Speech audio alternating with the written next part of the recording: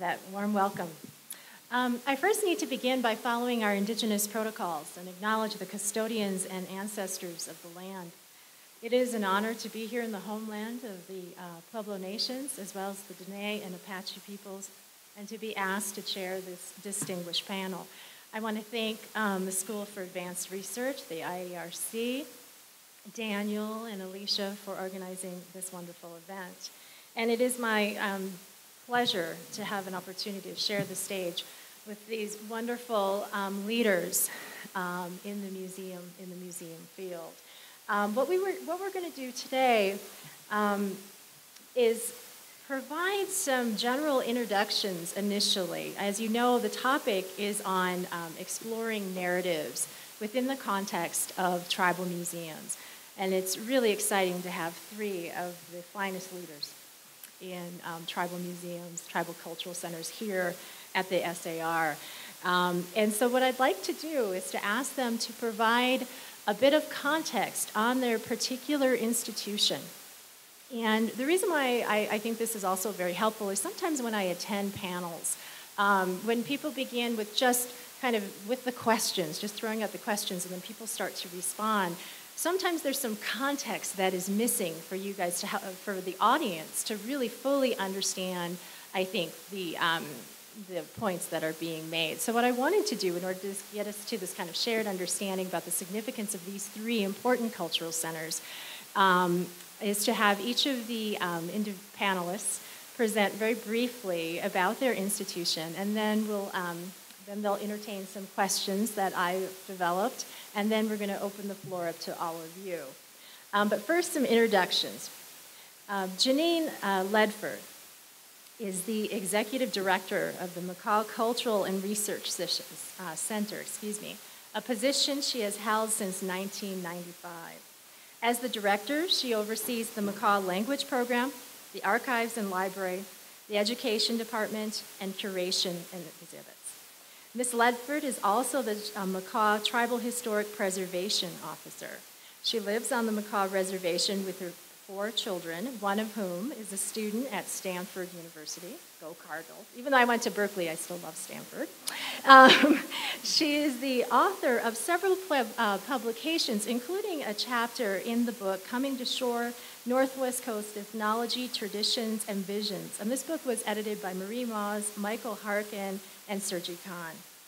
Now, uh, Ms. Ledford is also serves on the uh, Washington State Governor's Advisory Council for Historic Preservation, is the chairperson for the National Association for Tribal Historic Preservation Officers, and is the chairperson for the Makah Tribes Higher Education Committee. Our next panelist is um, Manuelito Manny Wheeler, and Manny is named after the distinguished Dene leader Manuelito. And he is the director of the Navajo Nation Museum in Window Rock, Arizona, and he has held this, uh, that position since 2008. Born and raised in the Navajo Nation, Wheeler is deeply concerned with um, language and cultural preservation efforts. And this commitment led to Manny working on a three year project to have Star Wars Episode 4, A New Hope, translated into Dene and in July 2013, the dubbing was complete, and the film premiered the following September at the Navajo Nation Fair. So I look forward to learning more about that project as well. And our final panelist today is Travis Zimmerman. And Travis is a descendant, uh, Travis is a descendant of the Grand Portage Band of Ojibwe, and he is a veteran of the U.S. Army and the Minnesota National Guards. Travis has a Bachelor's of Arts degree in history from St. John's University in Collegeville, Minnesota, and is currently the site manager of the Mille Lacs Indian Museum and Trading Post and the Indian Affairs Liaison for the Minnesota Historical Society, where he has been employed for over seven years. And Travis has been involved with American Indian nonprofits in Minnesota for the last 20 years, serving as a staff member and board member of a dozen of organizations. And one of um, those recent projects that um, Travis has been involved with, and I've had an opportunity to actually attend a conference with him, is this wonderful new collective or organization um, called the Great Lakes Culture Keepers.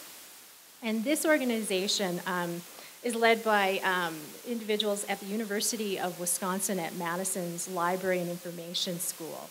And the organization brings together um, tribal museum professionals and archivists and librarians in the Great, Lake Great Lakes region for workshops, leadership institutes. And Travis has graciously agreed to host the next gathering at the um, Mille Lacs Indian Museum this April. So that is really, as I said, a really exciting development um, in the Native American museum world. So with that said, I'm going to turn the floor over to Travis, have Travis start and provide again that kind of brief introduction, if you will, on his institution that kind of helps us get to that shared knowledge base as we delve in deeper to exploring narratives in tribal museums. Well, thank you, Amy, and thank you all for being here. And um, it's an honor to, to be presenting here today. This is the first time I've been at the uh, the SAR here. I've been in Santa Fe several times, but never been here. So it's a great opportunity to, to check out your campus. I'm going to talk a little bit about the Mille Lacs Indian Museum and Trading Post, which out of our three institutions is probably uh, um, a quasi tribal museum because we are part of the Minnesota Historical Society, but we've always been accepted in the tribal museum community because of the story we tell. And we're located on the Mille Lacs Indian Reservation uh, in north central Minnesota.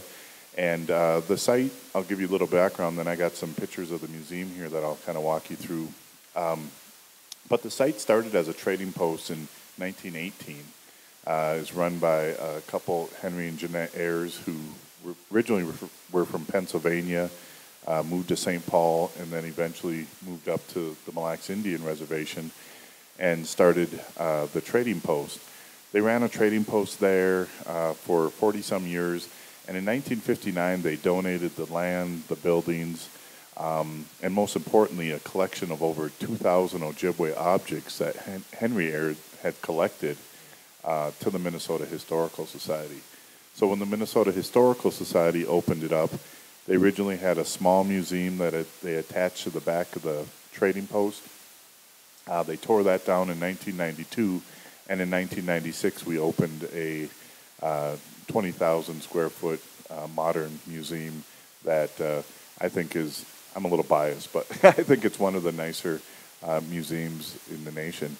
Um, and uh, so, uh, as a historical society, um, the story we tell and the way it was uh, designed, the, the museum, is that they really, and as you can see in the pictures, they really went out into the community. They had several different advisory committee, committees, elders advisory committees, that type of thing, that uh, came together and they made sure to include uh, band members' voices throughout the exhibit. So this first slide we have uh, when you come into our our main uh, exhibit area of the museum is we have this collage of different uh, you know life-size photographs of all different band members.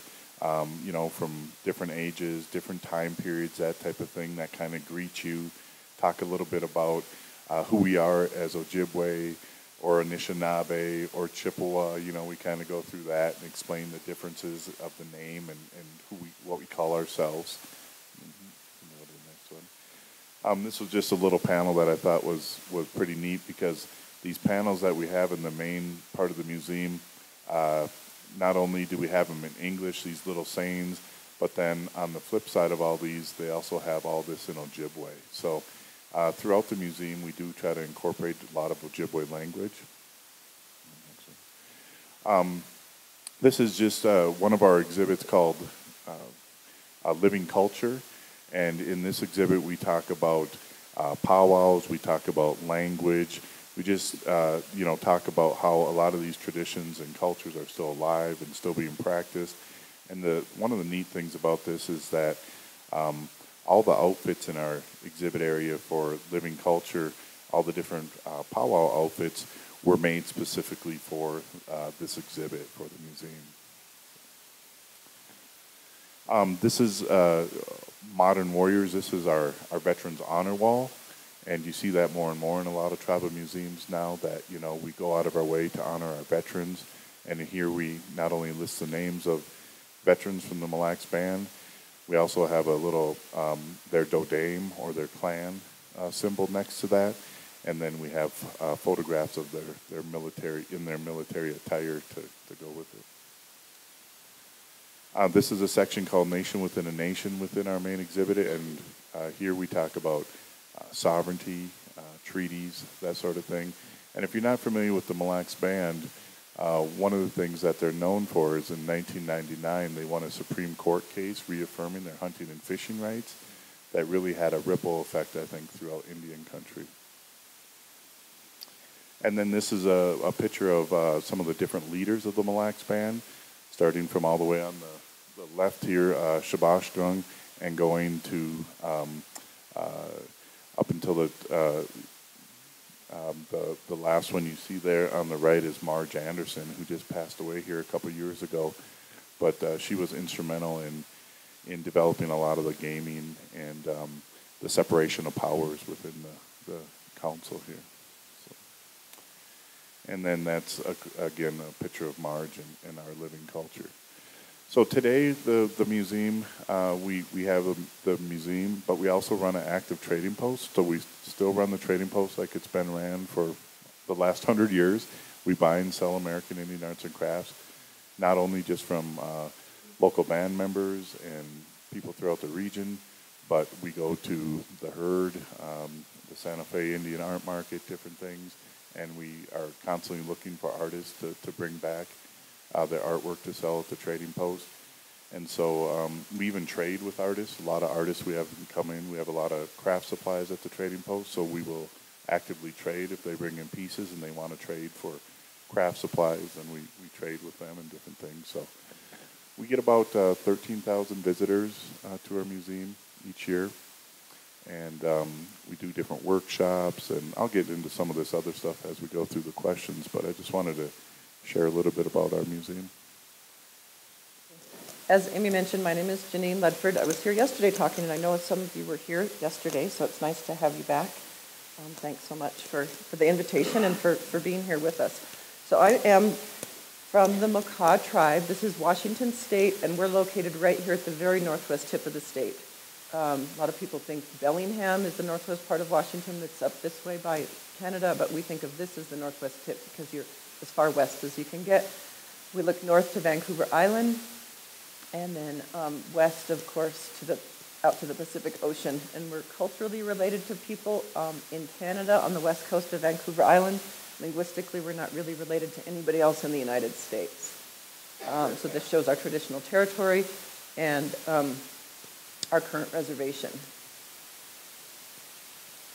Um, five villages were traditionally um, lived in by the Makah uh, during the winter time. There were seasonal villages, seasonal camps that people went to to put up a lot of food, and two of them are located right here in the main town of Neah Bay from this end of town and right down through here.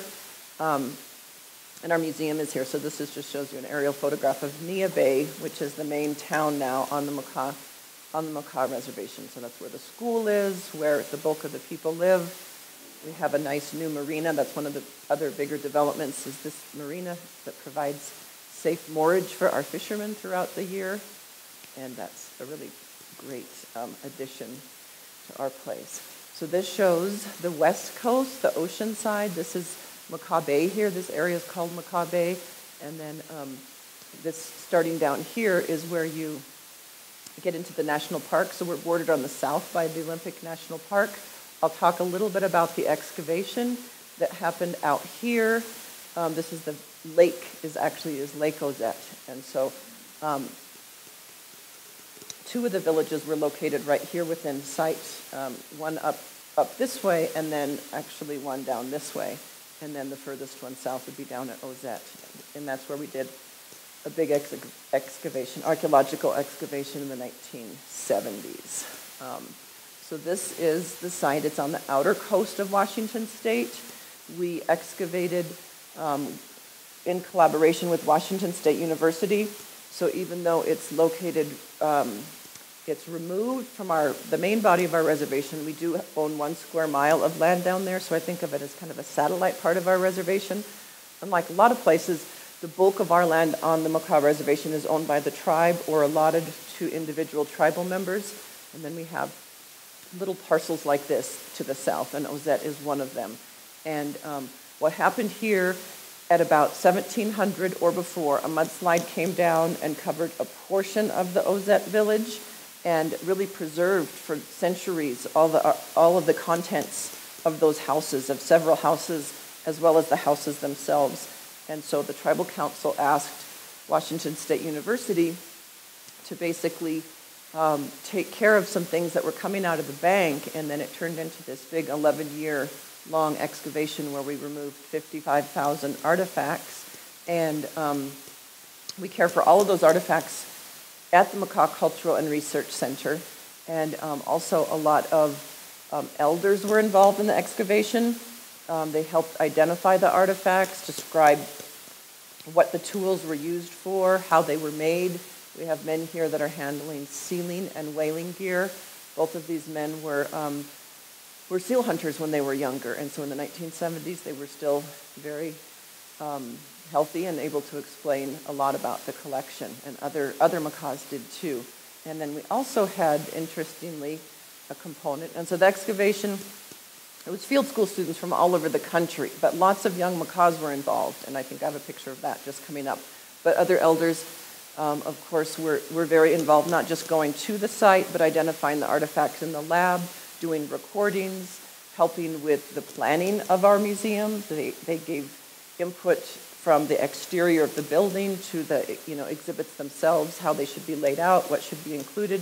So from the very beginning, there was a lot of community involvement. And then through the last, through the 35 years, we've really tried to make sure that we maintain that notion of community ownership, that everybody needs to help out in some way, that everybody, whether it's helping stack chairs or you know, do recordings, um, that, that Makahs really feel like this place is, um, is, is ours, is all of ours, not just belonging to the board members or the staff members, but really to the whole tribe. So this is an outside, that, um, this shows the entrance to the museum, but it's not a brand new picture. We did a neat project where we have some murals out in the front now, and I should have included one of those newer ones, but, and that was a really nice project funded by a local um, foundation in Seattle called the Potlatch Fund. And um, this shows the, um, the first part. When you come in, we come, bring visitors into this, um, the lower gallery, which is the spring. So we bring visitors through different seasonal activities. And in the springtime um, and in the fall is the time for hunting whales. And this whale actually was not excavated at Ozette, but this is a whale that we hunted in 1999. So um, the school kids, the Bay school kids, treated that skeleton. They buried it and sunk it and scrubbed it and sunk it again, and um, because they have to draw all the oils out of it so that it doesn't smell. Otherwise, you do a cast or something. But this is the this is the original skeleton that we do have on display, and um, a few replicas. So these big canoes are replicas: a sealing canoe and a whaling canoe. And the other pieces, of course, are fragile because they're 500 years old, 300 years old, so they're behind glass. And so we have things like this is a whale saddle here that's really a one of a kind piece. It's inlaid with over 700 sea otter teeth.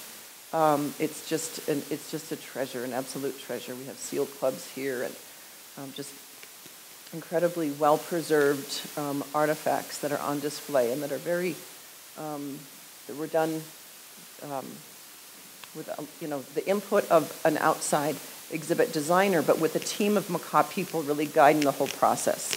We also have, of course, first-person narrative inside on the text panels as well. So you're going through and looking at things and, and being guided by a Makah voice as we go. So the Makah Cultural and Research Center, as Amy mentioned, includes a tribal historic preservation office. And so our Tribal Historic Preservation Office manages cultural sites on reservation, and one of the places that we get to go to is a place like this, Tatoosh Island. It's about a half mile offshore. It's the very tip of Cape Flattery, so so many people come to Neah Bay and hike out to this point. Did you go there, Amy, when you were there probably to Neah Bay? And you can look out at this island. It's a beautiful island with this historic lighthouse. And then um, traditionally, Makahs would come in on the beach, oh, right over here, I guess, on this side, and um, that was one of the places where they could get, un, get away from the eyes of the Indian agent and hold potlatches because it wasn't very easy to get to. So during one period they did retreat there. Um, another thing that our Tribal Historic Preservation Office does, of course, is manage uh, cultural sites that are off reservation and in conjunction with other agencies. So this These petroglyphs are um, south of the village of Ozette in, on area, on land that is actually owned by the Olympic National Park now, so we have to work real closely with our, with our federal agencies that are neighboring us to make sure that these sites are um, properly managed. So you're looking at whales and some other things. Um, this just gives me a, a quick cue to talk about the archive. So we have an archive and a library. So we collect historic documents, of course, published um, works, uh, unpublished manuscripts, field notes, because there's so much in those field notes that are really valuable to our tribe. You know, the publications are good, and, but there's so many other things that those early ethnographers were collecting that really that are really important. This is a Commissioner of Indian Affairs report just describing the importance of whale hunting, and then one of the few photographs of um, a whale hunting scene. Um, other his, just wonderful historic photographs. So we use these in, you know, for exhibits here and there. The high school has a wonderful photograph exhibit front that we've put together that the high school principal wanted to have up. So we work really closely with our school kids and um, let's see, we're just about through here. We, in, in the 90s, built a storage facility after we um, sort of settled the question of legal ownership of the collection. So we have an 8,100 square foot storage facility where the bulk of the collection is stored. Again, 55,000 artifacts from us that were excavated, and we only display 500 of them. So we have to have a good storage facility with environmental controls and fire suppression and all, all those important things. And then we manage it, and I talked about it yesterday, and we really won't today, but within a system that preserves cultural values rather than erodes them. So it's a really unique way that we manage the collection as well. And um, as I mentioned, we have just a few, um, just a small percent, just about 1% of the of the collection on display. So this is a piece that I think is in storage, actually, this beaver, it's a beaver tooth chisel with just a beautiful carved face there. And um, another thing that we, where we focus the bulk of our attention um, is our language program. So in the MCRC opened, the Makah Cultural and Research Center opened in 1979, and in um, since then, actually before then, in 1978, the tribe declared the official language of the tribe, and um, so we've really focused the bulk of our efforts to revitalizing the language. And um, so we work with preschool kids all the way through adults. We have eight certified language teachers. Um, we work with the public school, so it's a state school, and so the tribe and the state figure out ways to make sure that the school kids have language lessons. Um, most of them twice a week for about an hour each time, and we're seeing real improvements in their academic success that sort of correlates with the amount of language that they have. So that's really, really neat and they love to come over and they love to have the teachers there. Sometimes I have, I have two elementary school kids and I'll ask them what their favorite thing was today. And usually when it's a day they had language, my language teacher was here today. And they just absolutely love it. So we're really excited about working with the, working with the kids. So although it's a museum displaying a priceless collection, again, so much of what we do revolves around cultural preservation. So that's what I've got. Thanks.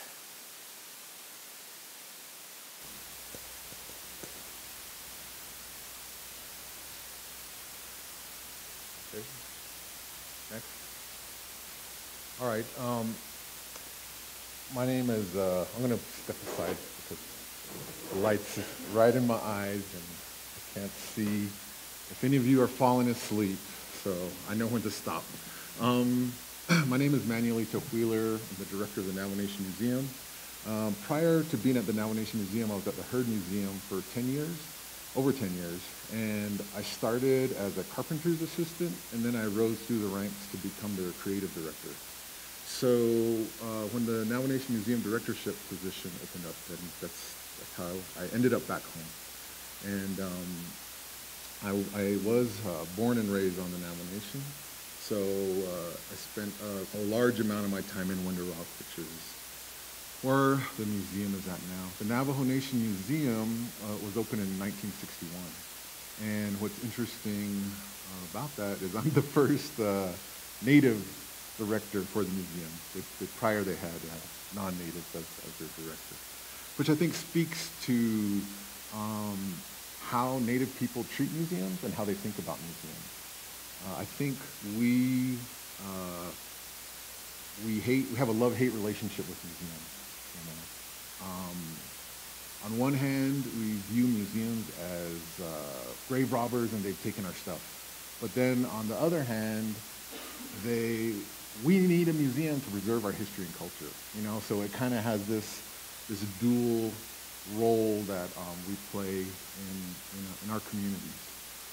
So what our take-home message and what my take-home message is, is um, messing up everything you think you know about us and also messing up everything we think we know about ourselves and then letting us rebuild um, what that is.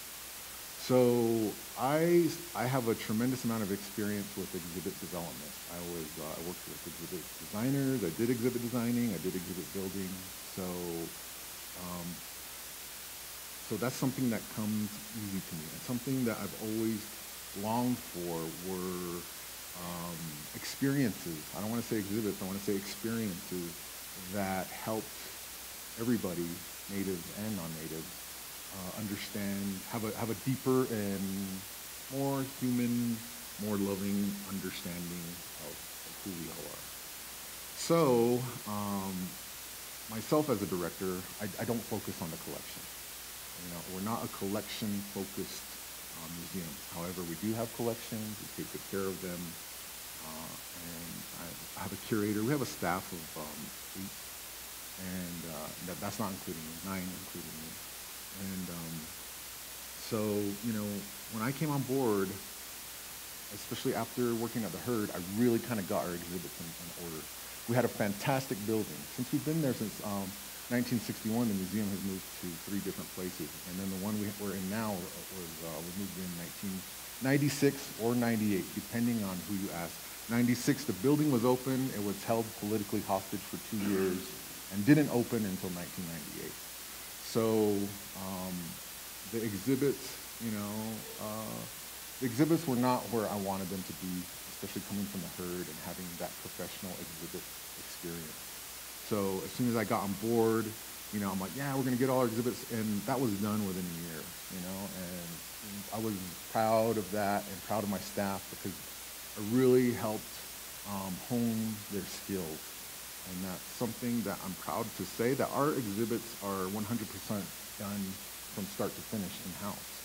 From the graphic design, to the curation, to the research, to the building, everything. So that's something that, you know, whether it's, you know, Smithsonian quality, you know, it's irrelevant because it's, it's we did it. And uh, even in, it, it, it's where at a point where I find um, acceptable. And some of our exhibits have really been um, phenomenal.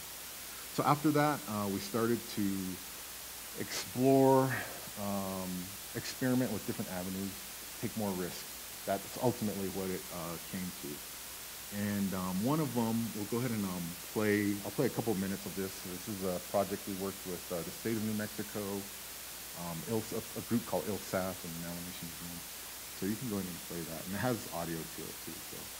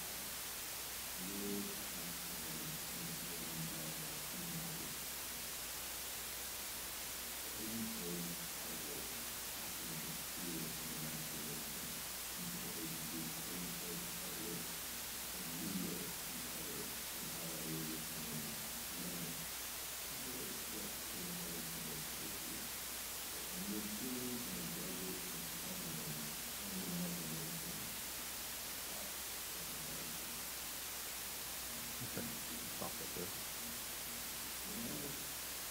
Okay, so uh, one of the projects that um, we worked with, we ended up um, working with uh, partnering partnering uh, Ai Weiwei with the Navajo artists, and that was uh, one of our our biggest projects. So um, that that was a long time coming, and again, we worked with the state of New Mexico and uh, the group called HOSAP. So um, this is a, a small snippet of the of the piece that happened, and it was really phenomenal, and it, it um, gained a lot of uh, attention internationally for for everybody. And um, you know, when I went to uh, talk with Ai Weiwei, you know, he, he it was it wasn't a question for him. It was like, yes, you know, I want to do this, and he he asked like, how would this help though? What what is, what is the purpose? And for me, the purpose was again to um, it's not the byproduct is gaining exposure for Navajo artists. The real product is letting contemporary Navajo artists fully be appreciated for what they do. So um, I think we have the, the traditional arts covered pretty well. You know, and I, I say that for Southwest artists, probably all Native artists in the, in the country. And I think where it's at, again, redefining what you think we know about, you think you know about us, and what we think we know about ourselves. So um, this is uh, the piece by Bert Benally and uh, Ai Weiwei, and I'll just again show a couple of that. Material, so you'll see a lit design and it will get to the corner and the campfires will start up. And hopefully by that time the pot will start to implode and you'll see the corn sculpture on the inside. I've been working on some songs as well that I made uh, loops and samples from old records and Native American recordings that I have. So we'll have somebody hidden brush back there who'll play the music so it'll kind of accompany the, the burn process. That's the general plan.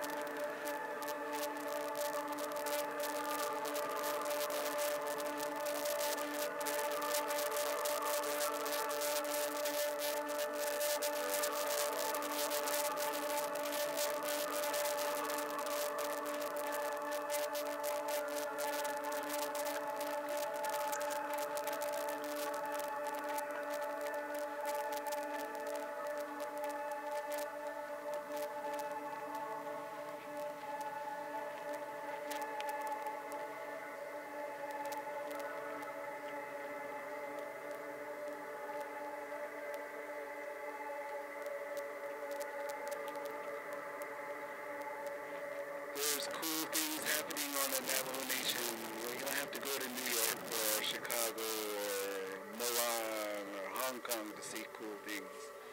Um, we have Ai Weiwei here that's doing a project here on Navajo Nation, so you know, it's time for them to, to notice and realize that things are happening and can happen and hopefully will continue to happen.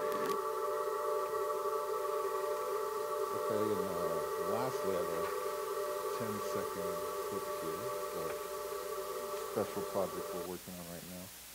Um, all I need you to do is that to that, and that to that.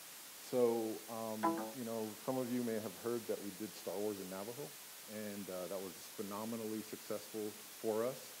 There was a uh, small group of uh, people that were against it initially, and then after uh, seeing what it did for our people, then uh, you know that changed most of their minds. There's still some people that aren't happy with what I did, but I still stand by the project and everybody that worked on it. That we did something that I, I feel strongly that uh, we shifted the course of history for uh, Navajo people and for I mean that's that's ultimately what one of the roles of um, one of the roles of uh,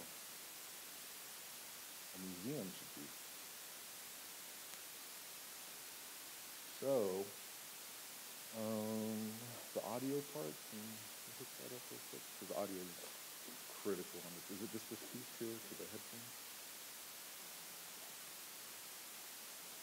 So after we did um, Star Wars, uh, there was another project got put before us, and that's um, well, I actually asked for it because after we did Star Wars, I wanted to do another movie, but do it for children. So I knew we needed to do a children's movie, and um, who else to ask for a children's movie than, than Disney? So we put the uh, question out there for Disney, and um, pretty quickly they said yes. I asked for, they asked which one. I said, which, which one do you want? And um, they asked her about, they're like, what about Pocahontas? And I'm like, um, let's, let's do another one. And then um, they asked to do, uh, do, do other Disney movies. And then um, we kind of we, went back and forth a little bit. And then finally it ended up with uh, Finding Nemo. So that's what we're working on right now. And um, they had to ask uh, John Lasseter. And even with Star Wars, they had to ask, ask George Lucas. So it's like those are the types of events that kind of send chills up my spine that are like, they're like, okay, we're going to do this, but we got to ask uh, George. And I'm like, okay.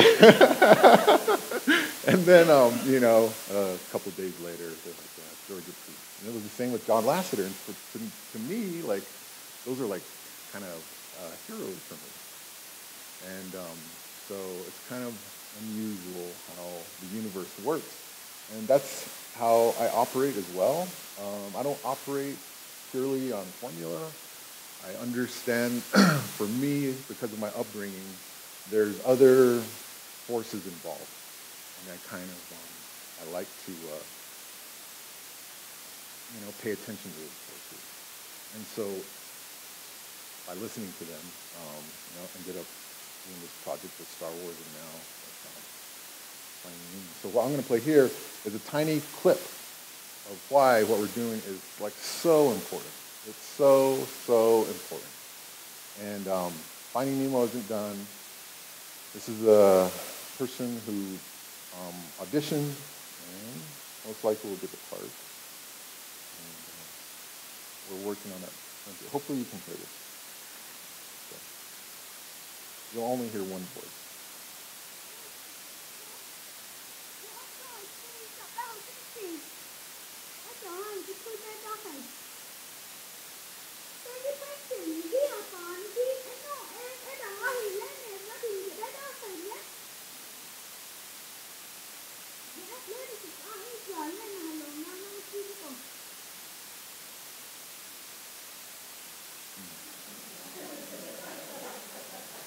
So that's what I mean by we want to do something that is going to redefine us to you and redefine us to ourselves. And by that, we get pride by, by and that's another thing of our, what we do in terms of museums. We help um, build pride within our communities. And through pride, uh, that there's um, inspiration and momentum to take, to do things, do risks, to take risks. And through taking risks, there's, um, there's growth. But there's also um, some tough times when you take risks. So know, that's, that's what I have to say, and I don't approach museums as, okay, we got to do our exhibits, we got to do our educational programming, and we got to make sure people get through the door. Actually, I care about the number of people getting through the door, and I'm still trying to tweak that formula. But, um, you know, and then there's the money part too. Like, oh, we got to get money to do these things. So, but it's usually exhibits, educational programming, and I do. I take those things seriously and I get them done. I focus more of our attention on how can we hit a grand slam so that it has a huge impact. Thanks.